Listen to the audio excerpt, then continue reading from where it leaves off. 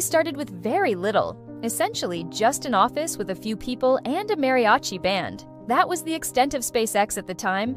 However, he possessed one more crucial asset an insatiable ambition. For Elon, the sky is not the limit. His ultimate goal is to transport humans to Mars.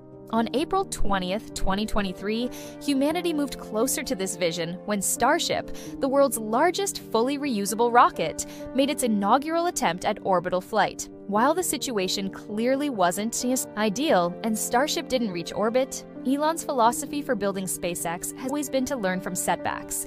It's remarkable to consider he built a rocket company with only bachelor's degrees in economics and physics. Elon, who holds Canadian citizenship through his mother, May, began his university studies at Queen's University in Kingston, Ontario, located three hours east of Toronto.